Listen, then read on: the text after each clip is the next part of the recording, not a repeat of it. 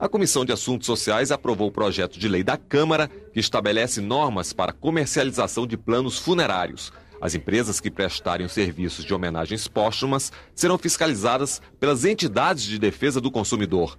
A matéria ainda vai ser analisada pela Comissão de Assuntos Econômicos. Em sua última reunião do ano, a comissão também aprovou mudanças na CLT, a consolidação das leis do trabalho.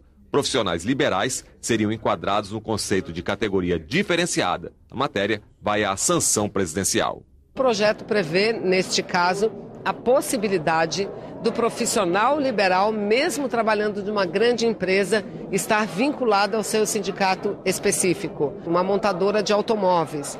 Lá, o sindicato predominante é o sindicato dos, é, é, dos metalúrgicos. Se um advogado que trabalha lá, se um jornalista que trabalha lá, se um economista que trabalha lá queira estar ligado ao seu sindicato específico, ele vai poder ter esse direito de opção.